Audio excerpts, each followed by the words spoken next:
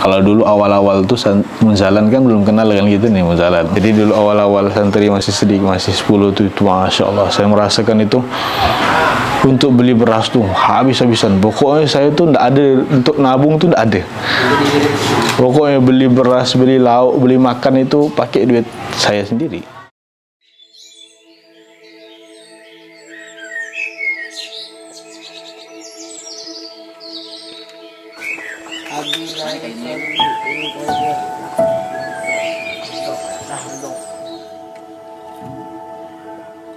Pondok yang kami jalankan ini sudah dua tahun, jadi berjalan dulu sejak bulan Maret tahun 2020.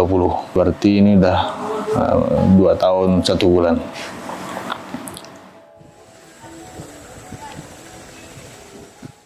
Pertama santri empat orang.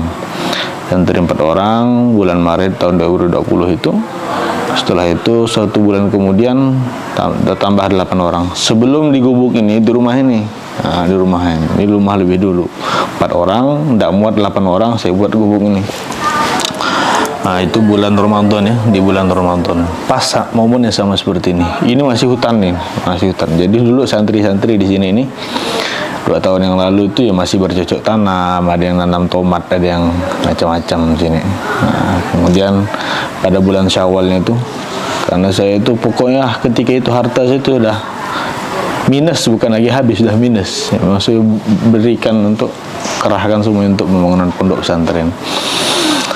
Nah, Bismillah semoga lillahi ta'ala ketika itu.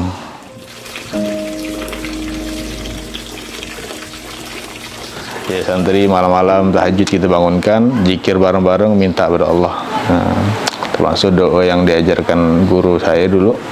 Allahumma kamil ma'aniha mabaniha ya Allah sempurnakanlah bangunannya, sempurnakanlah keberkahannya. Nah, itu masya Allah itu tidak putus-putus itu. Orang tuh datang dari mana-mana saya pun tidak tahu orang datang dari mana-mana.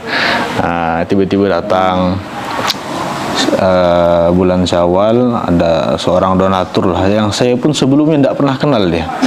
Dia datang ke sini bawa uang tuh 20 juta.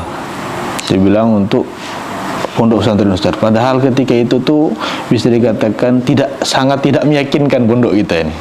Ya.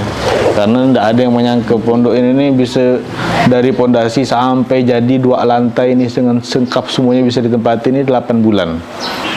Itulah kita ini kan saling mendukung. Kami sangat mendukung sekali. Sepenuhnya sejuta persen untuk kawan-kawan dari Bonsalan hijrah peduli kemudian semuanya lah. Walaupun kami ini belum bisa seperti Muzalan tapi Masya Allah mudah-mudahan lah apa yang kami amalkan kerjakan di sini semua manfaatnya juga teman-teman Muzalan lah semuanya kalau cukup sih Alhamdulillah Insya Allah cukup. Cukup berasnya. Walaupun kadang udah tinggal kata anak-anak tinggal untuk sekali makan bisa nah nanti tiba-tiba siang tuh datang tuh Muzalan tuh.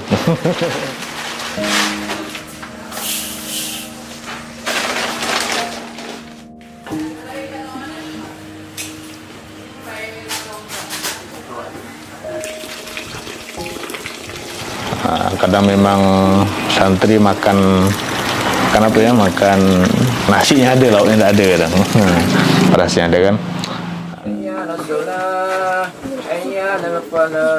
Semoga Allah Subhanahu wa taala senantiasa merahmati menjaga abang, kakak, ibu, bapak semuanya. Allah Ta'ala hapuskan dosa-dosanya, mudahkan segala urusannya. Yang punya hutang, Allah SWT lunasi hutang-hutangnya.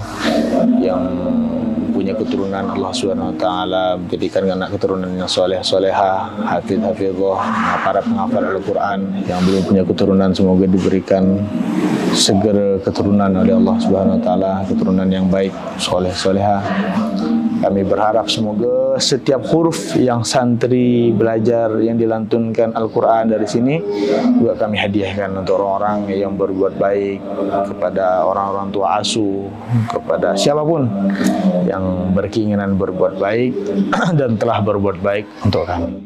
Orang tua asuh, doakan kami mudah-mudahan hafalan kami bertambah dan pahalanya juga mengalir kepada orang tua asuh.